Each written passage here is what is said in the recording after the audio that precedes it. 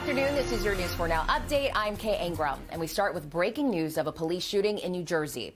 Officers ended up shooting a hospital patient in Holmdel. All of the chaos happened after police say that patient left the hospital and stole two cars, crashing into several utility poles and more. News 4's Brian Thompson is there with the update. Chaos on the roads of northern Monmouth County this morning as a discharged crisis patient at Bayshore Hospital got into a running delivery van or workman's van, stole it out of the parking lot, and drove up Route 35. He crashed it on a barrier, a Jersey barrier. A Good Samaritan got out to try to help him, and he stole the Good Samaritan's car. Coming farther up Route 35 into Holmdel, where he crashed into some utility poles, a farm stand, and then ended up in a, a grassy area of that farm stand got out. Police arrived. They saw something in his hand. They tried to taser him. That didn't work. Because he still held that item in his hand, they ended up shooting him. He's not dead. He is expected to survive as the prosecutor and others try to sort this out. In Holmdel, Brian Thompson, News 4 New York. All right, Brian, thanks for the latest there. Now on to a wild scene out of Soundview in the Bronx. You see two men park a Jeep on Bronx River Avenue Friday afternoon when someone shoots at them.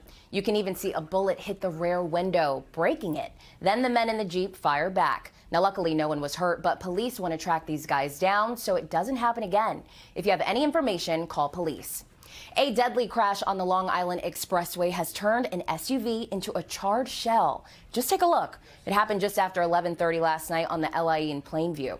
Police say a Ford Explorer was stopped in the HOV lane near exit 48 when a Kia Sportage slammed into the back of it. That's when officers say the Explorer erupted into flames. The 89-year-old driver was killed. The 36 year old driver of the Kia was taken to a nearby hospital and treated for minor injuries.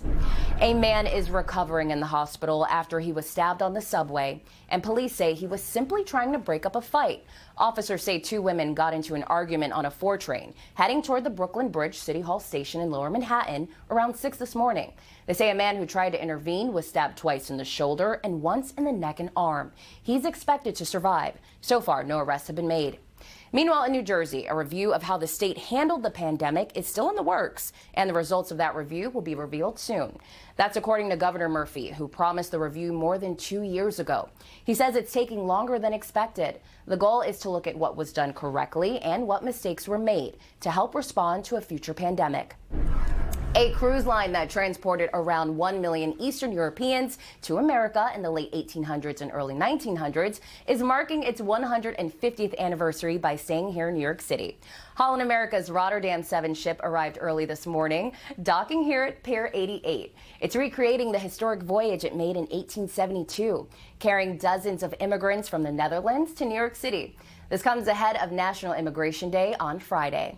And be sure to get those pools ready because tonight's your chance to snag the eighth largest lotto jackpot ever.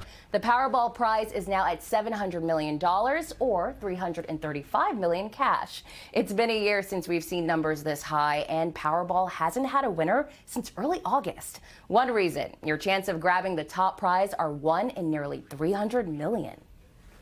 Let's take a look at your afternoon weather picture. Cloudy, dreary, damp once again, but warm.